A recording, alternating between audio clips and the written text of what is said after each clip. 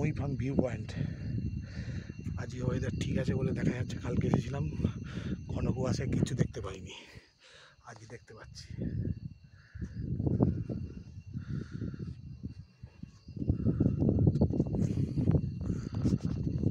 পাচ্ছি